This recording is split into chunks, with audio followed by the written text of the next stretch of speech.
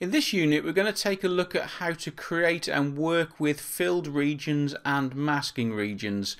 You can see on screen I've got three objects here. Two of those, the one at the bottom left and the middle, are filled regions and the top right is an example of a masking region. So let's go ahead and create a filled region. I've got a call out view here of an external wall so you can see the blockwork and brickwork.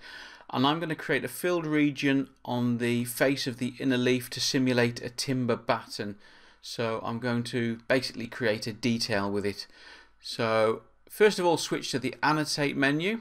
And then on the detail panel you've got the option for region. If we just have a quick look in the drop down got a choice between filled region and masking region. I will cover masking regions a little later in the unit, but for now let's go with the filled region.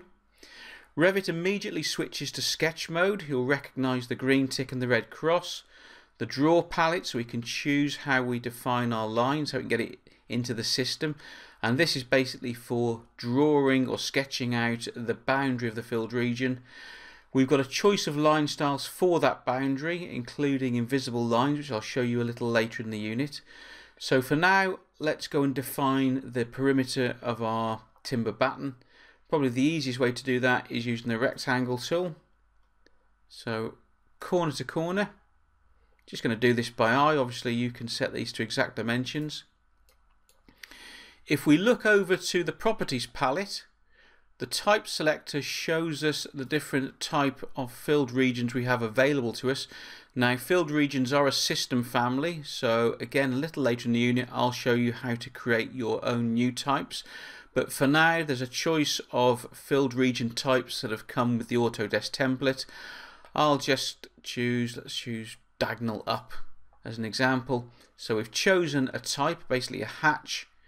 We've set the perimeter hit the green tick and Revit goes ahead and creates the filled region.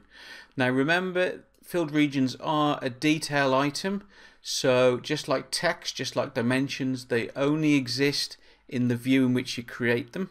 You can create them in any type of view, i.e. Uh, call out sections, elevations, plan views, uh, reflected ceiling plan views. Obviously we've just chosen a call out view here but you can see We've created a detail, a timber batten against our wall. Now, whether you should be modelling that batten uh, with a wall sweep or whether you should be using a standard detail component, and we looked at detail components uh, in a previous unit, or whether you simply draft it out using a filled region is totally up to you. There is no right or wrong, and there are most certainly pros and cons of each of those methods. Um, but if you do cho choose to go with a filled region, that's how you do it. So it's just annotate, choose region, go into sketch mode, use any of those tools on the draw palette to define where you want the filled region to be, and hit the green tick, and of course choose a, a filled region type. So depending on what pattern you need in there, hit the green tick and Revit immediately creates it. So you can actually pick that up and move it after you do have grips on all the boundary line segments so you can actually make adjustments to where those boundary lines are. But in essence that's how you create filled regions. Okay, so here's the filled region we've just created. So if we go ahead and select it, it brings up the currently selected type in the type selector. We can go and change that after to a different filled region type and you can see the hatch pattern changes accordingly. So pick from any of the ones that are currently loaded into our project. And because filled regions are system families, we can actually go ahead and create new types within the project. So if I select the filled region and we hit the edit type button, hit duplicate. Now I'll just leave the name the same there for now. Revit adds number two to differentiate it. So let's just go with that as a name. Let's have a look at the type parameters. So the main one at the top is you'd expect fill pattern. What pattern do you actually want in that filled region? Now if you click in there and hit the little square at the end with the, the three dots, you get a choice of all the fill patterns currently loaded into this project. And you can see there's There's quite a range in there. So let's just pick one of these, earth. Now you can actually edit those patterns. Now you can see this is set to drafting at the moment. That's quite important because you want that pattern, whatever those line um, separations are set at, you want them to be the same distance apart regardless of the scale of the view because remember this is a drafting detail. Um, so it's, it's fundamentally different from let's say brick coursing where you'd use a model hatch pattern because you want that coursing to scale up or down with the size of the wall. So we're going to stick with drafting hit OK background do you want to be able to see through the filled region or have it mask out things behind? So I'm going to leave it on opaque. Line weight that's what it's going to actually create the um, the, the fill pattern with. So I'll leave that as one for now and we're going to go with the color black. There's a range of other parameters you can fill in there if you so desire but uh, for most standard generic components that come with Revit those are left blank and there's probably no need to fill those in certainly in the case of, of filled regions I would just leave those blank so hit OK and there is our new filled region type with the new pattern. Let's just go and very quickly change a couple of these to, to see the effects. Change the background to transparent. Let's bump up the line weighting and let's change the color. Hit OK, apply, OK. So now we can actually see through the detail. The fill pattern is in a, a, a thicker line style and it's drawn in a red color. Now I'm just going to take a few moments to talk about draw order. So here are three filled regions I've created, different patterns. There's a solid black one there and a couple of other ones here. So if I pick one of those up and move it close to the other one so it overlaps and do the same with the, the black one just so they all overlap a little bit you can actually see that they are layered and you can control what we call the draw order where they appear in that hierarchy. So if we take the black one, which is currently at the top or closest to us if you like, if we're looking into the screen, with it selected and you look on the ribbon menu, you can actually see that you can control how it's arranged, the draw order. So we can send it backwards, there's a little drop down there. Do you want to send it back one layer in the hierarchy or do you want to send it right to the back? Let's just send it back once. So now it's behind this one here, but still in front of the other one. Just select it again, and we can send it backwards again, which will send it right to the back. Now, the important thing to note is even with these right at the back, they still sit on top of the model.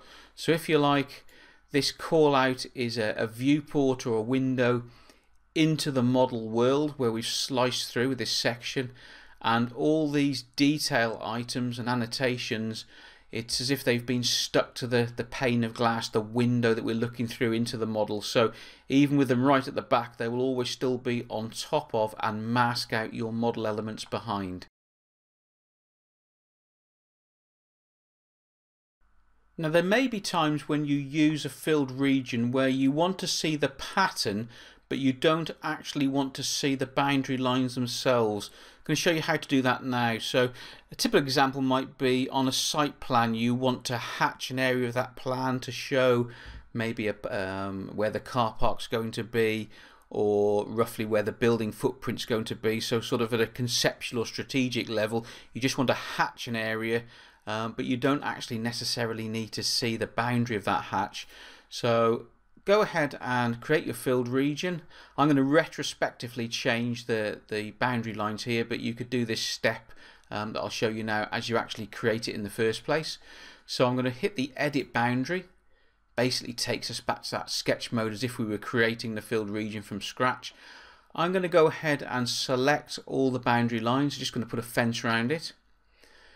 Now, you can see now with the boundary lines selected, the, their, their line style is thin lines. All you need to do is change it to invisible lines. That's one of the, the system um, line type families. hit invisible lines, go ahead and recreate the filled region by hitting the green tick, deselect, and you can see now you're still left with a filled region with the same pattern, but you can no longer see the actual boundary lines themselves. So again, probably a, a, limited use, but there probably will be scenarios where you need to do that, where you want something hatched out, but it just looks neater if you don't actually see the boundary itself. Quite often when you're creating your filled regions, they actually relate to the underlying model, whether that's in elevation, section or plan. So let's make up an example here to, to demonstrate this. So again, we're going back to our cavity wall. Let's go with a filled region. So, in fact, actually, going with a masking region. I want to mask out the model behind. So let's say we want to create um, a duct through the wall. Now again, you, could actually create a 3D model element, a component family, so that it's visible in elevation and sections. Um, but for now, for this example, I'm simply going to draft on uh, using a filled region to represent this duct. So I'm going to go with the rectangle tool there and just put this duct right across the wall there. Hit the green tick. Because it's a masking region, uh, it's just a, a white filth. It's masked out in the model behind. Now, if we were to go into the makeup or the structure of the actual wall itself, the wall type, so we hit the edit structure button, you'll remember that from the, the unit on walls, we can actually change the layer thicknesses or add additional layers into this wall type. Because this filled region or this masking region is just a detail element that sits on top, then yes, we've traced over it and used it as a template, but it doesn't really relate, um, it doesn't uh, have a relationship with the underlying model. However, we can actually constrain the boundary lines if we want to the underlying model so that when the model changes position or thickness, this will automatically stretch accordingly. So let's go ahead and do that now. Um, just before I do, do that, just to clarify, we've created the duct through the wall let's say uh, as the design develops we want to go and increase the cavity width we would like all these details to flex accordingly. We don't want to have to come back through all these callouts and manually select the masking region pick the grips and change it accordingly. Because um, what you'd actually find is if I move this wall over you can see there that the at the moment the detail item, i.e. the masking region, is just orphaned. It's just floating on top of this view. So I'm just going to undo that, put that wall back. But let's go in and select the masking region, edit the boundary. Now I'm going to go and pick one of those lines. Just going to move it away slightly. It doesn't matter how far you move it, but just move it back until it snaps back onto the wall. And notice before you do anything else the little padlock, which is open at the moment, Remember those constraints? We can actually click on the symbol and actually lock just that piece of boundary line to the underlying uh, face of the wall. You can do the same here. Select that section of boundary line, pull it away, snap it back on. Again, got the padlock, the constraint symbol. It's open at the moment, it's not constrained. Go ahead and lock the padlock to constrain it and green tick to remake the masking region. Now if we select the underlying wall element and I hit edit type and we go into the structure, the build up of that wall and let's go and increase the thickness of the insulation. So it's currently on 75 mil. Let's just put 150 mil in. So there's a notable difference when we remake the wall. Hit OK hit OK again. You can see the wall increases in thickness and now the masking region has actually stretched accordingly because the left and right boundary edges are constrained to the face of the wall. So a neat little trick there. Uh, again, you really get into the heart of BIM. The more you can automate the coordination of your details with the model, the better. Less work for you to do to keep going through all your different views as you develop your design and change thicknesses and build ups that all your details still match. So to a certain extent you can, if you like, semi-automate the coordination of certain aspects of your design within Revit, i.e. the details to the underlying model. And that completes this unit. To get the most out of this training material, please take the complete course online at bimscape.com. Here you will find a complete learning management system that allows you to work through the course at your own pace. Comprehensive written tutorials provide additional information to that found in the training videos. Mark each unit as complete as you finish it and move on to the next. At any point you can return to any of the units you have previously completed to go over the material again. If you'd like to take this course online, please visit www.bimscape.com forward slash Revit for details.